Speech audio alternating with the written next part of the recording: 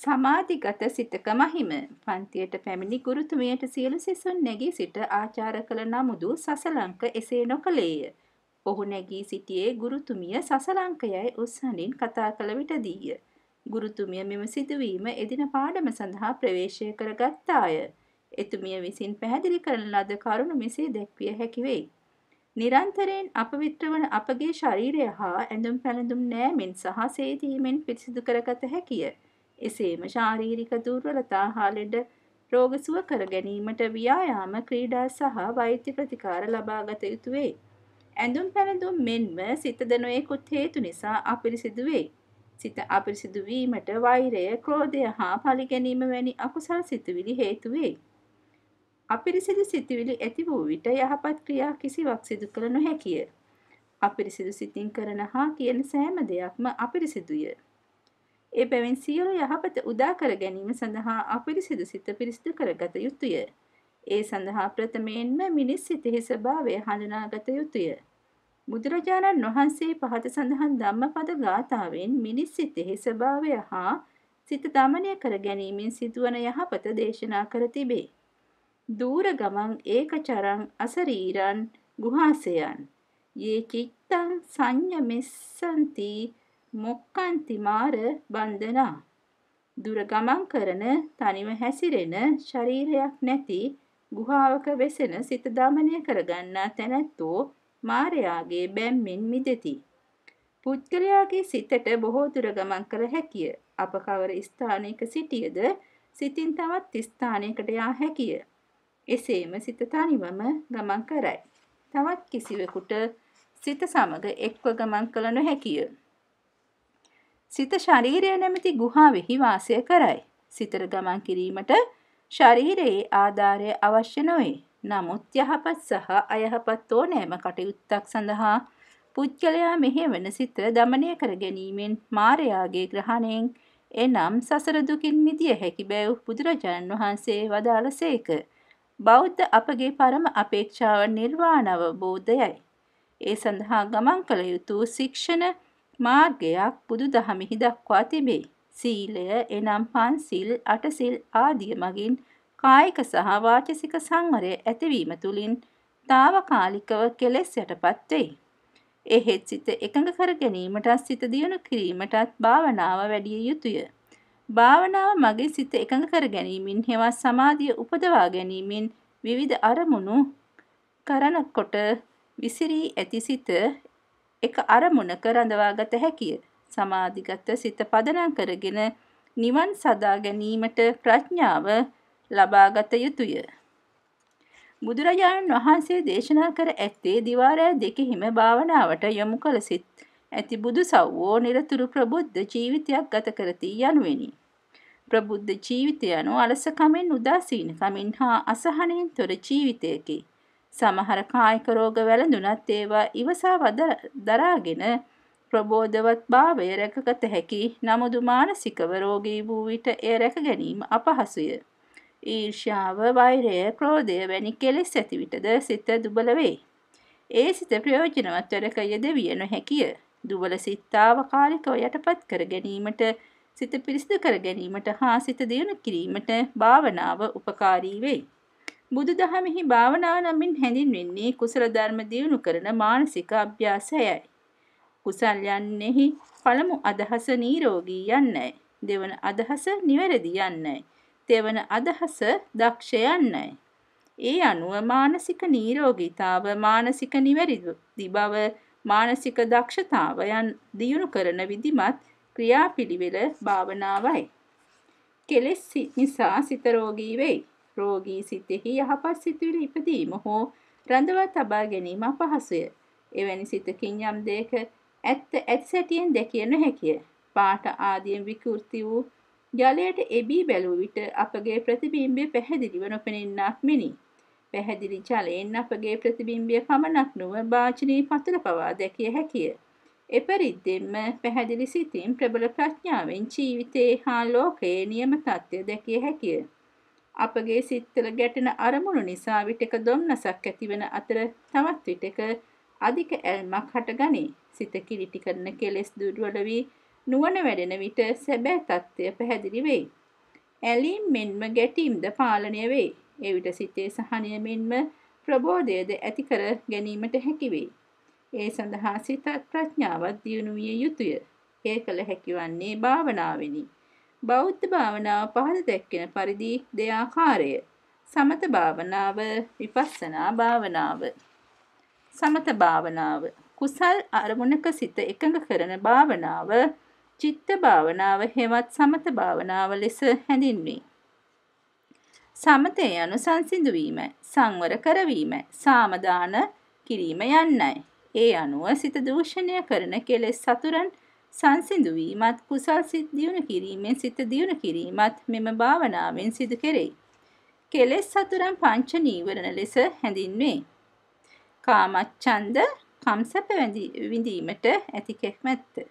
ව්‍යාපාද තරහව. තීන මිද්ද. සිත කය දෙකෙහි උදාසීන බව. උද්දච්ච කුක්කුච්ච.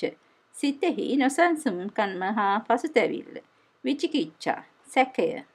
මෙම නීවරණ ධර්ම සත්වයාගේ සැනසීමට බාධක උපදවනුයේ කෙසේදැයි බලමු.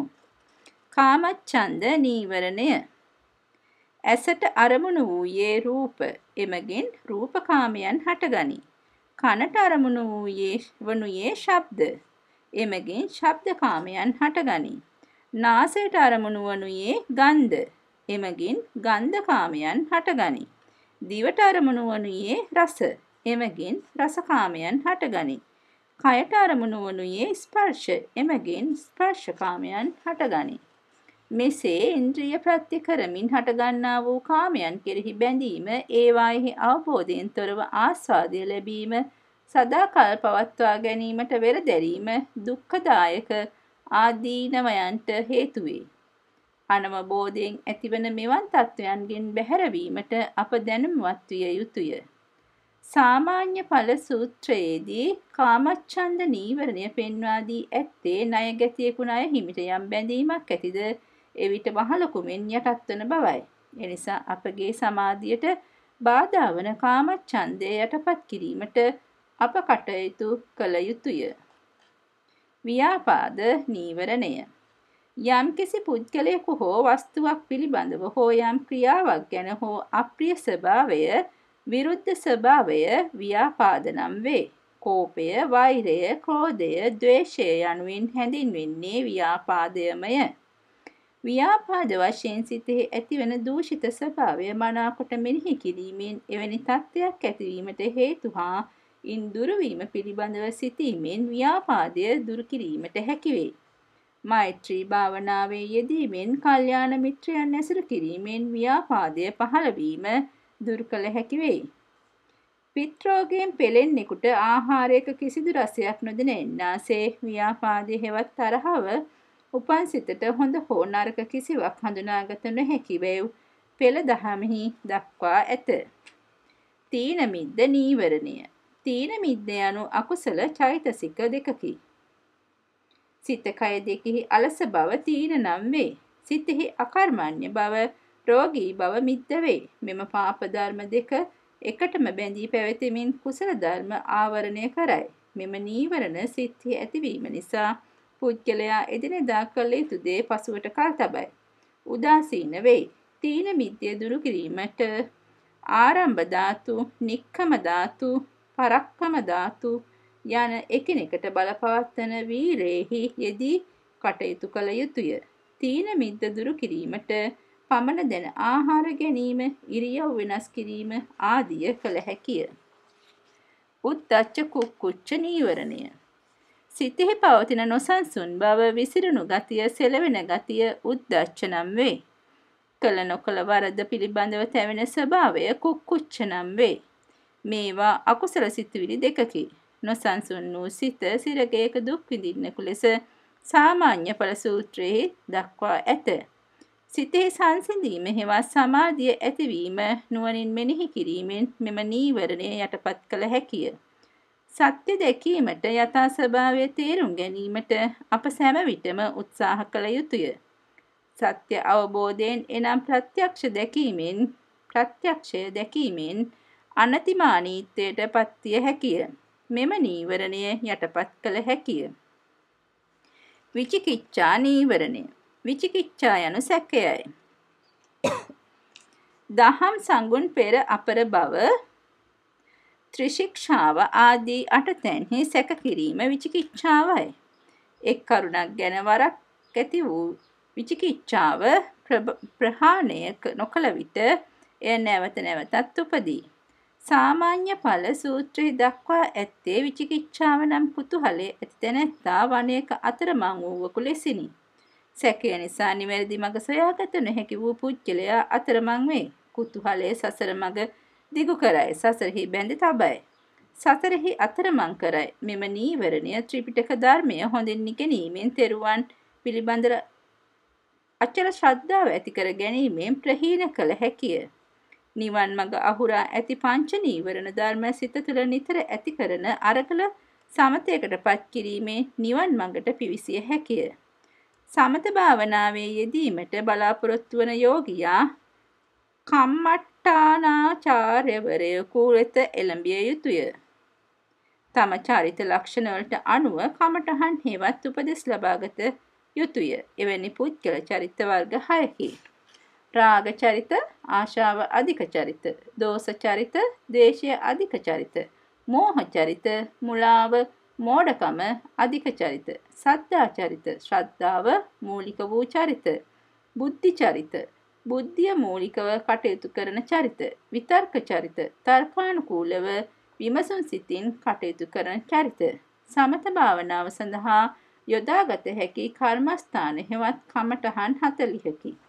දස කසින 10 10යි දස 80 10යි දස අනුස්සති 10යි චතු අප්පමඤ්ඤා 4යි ආහාරේ පට්ටිකූල සංඥා 1යි චතු ධාතු වවත්තාන 1යි සතර ආරුප්ප 4යි සමත භාවනාව වැඩිමෙන් ලැබෙන උසස්තම ඵල ලෙස පංච අභිඥා අෂ්ට සමාපatti දැක්විය හැකිය.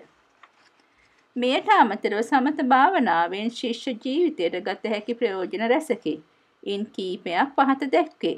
මතක ශක්තිය දියුණු වීම, එක අරමුණක සිටීමට හැකිවීම, ගැටලු විසඳීමේ ශක්තිය දියුණු වීම, වහා අවබෝධ කර ගැනීමේ ශක්තිය දියුණු වීම, ඉවසීමේ ශක්තිය දියුණු වීම, පිළිවෙලින් යමක් ඉදිරිපත් කිරීමට හැකිවීම. විදර්ශනා භාවනාව විපස්සනා භාවනාව.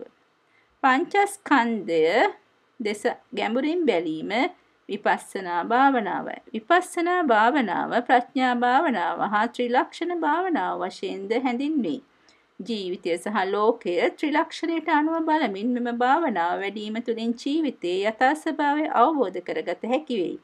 අවසානයේ ප්‍රඥාව පහළ වීමෙන් නිර්වාණ මාර්ගය සාක්ෂාත් කරගත හැකිය. මෙම භාවනාව තුළ ජීවිතය යන්න විග්‍රහ කර ඇත්තේ මෙසේය. රූප ශරීරය රූප. වේදනා විඳීම දුක සැප මධ්‍යස්ත සංඥා හඳුනා ගැනීම. සංකාර හඳුනාගෙන රැස් කරනදී විඥාන සිත අරමුණ දැන ගැනීම. විදර්ශනා භාවනාවේ ආනිසංස. විදර්ශනා භාවනාවෙන් කෙරෙනේ අරමුණු වල සැබෑ తත්වය නුවණින් විග්‍රහ කොට බැලීමයි. තම ශරීරයේ අස්තිර බව, දුක් සහිත බව, පිළිකුල් සහගත බව නොවෙනස් වන කිසිදු පදාර්ථයක් නැති බව අවබෝධ වන්නේ විදර්ශනා භාවනාව වැඩීමෙනි. අස්තිර වූ අසාර වූ ජීවිතයක් ගත කරමින් ඊර්ෂ්‍යා කිරීම, වෛර කිරීම වැනි දුර්ගුණයන්ට ගොදුරු වීමෙහි තේරුමක් නැති බව විදර්ශනා භාවනාවෙන් අවබෝධ වේ. එබඳු දූෂිත සිතිවිලි පාලනය කරගත කරගෙන හැකි තාක් ඉවසීමෙන් හා බුද්ධිමත්ව කටයුතු කිරීමට භාවනානුයෝගියා පෙළඹේ. එවිටද ඊර්ෂ්‍යාව වැනි මානසික තත්ත්ව නිසා ඇතිවන අසහනය නැති වී යයි. සිතෙහි ප්‍රබෝධය ඇතිවේ. ජීවිතයේ සහ ලෝකයේ ස්වභාවය වැටහෙන විට අෂ්ටලෝක ධර්මයට මැදහත්ව මුහුණ දීමේ හැකියාව අපට ලැබේ. ලාභ යසස ප්‍රශංසා හා සැප හමුවේ උද්දාමයටත් අලාභ අයස නින්දා හා දුක් හමුවේ කම්පාවටත් පත්වන විට අපට ප්‍රබෝධව ජීවිතයක් ගත කළ හැකි නොවේ. එම වෙනස් වන සුළු ස්වභාවය වටහාගෙන මැදහත්ව ඒවාට මුහුණ දීමටත් කායික මානසික දුක් පීඩා විඳ දරා ගැනීමටත් හැකියාව ඇති කරගත යුතුය. ඒ සඳහා විදර්ශනා භාවනාව උපකාරී වේ. සාරාංශය භාවනාව යනු කුසල් සිත් වැඩීමයි. බුදුදහමෙහි සමත සහ විදර්ශනා යනුවෙන් ප්‍රධාන භාවනා ක්‍රම දෙකකි. සමත භාවනා වැඩීම මගින් කෙලෙස් යටපත් වී සිත සංසුන් වෙයි. මෙලෝ වශයෙන් සාර්ථක ජීවිතයක් ලබා ගැනීමට හැකි වෙයි. විදර්ශනා භාවනාව යනු ජීවිතය හා ලෝකය පිළිබඳව ත්‍රිලක්ෂණානුරූපීව බැලීමයි. එමගින් ආර්ය ශික්ෂණ මාර්ගයට ප්‍රවේශ වී නිර්වාණය සාක්ෂාත් කර ගැනීමට හැකිවේ. භාවනාව තුළින් ලෞකික මෙන්ම ලෝකෝත්තර ප්‍රතිඵලද ලැබිය හැකිය.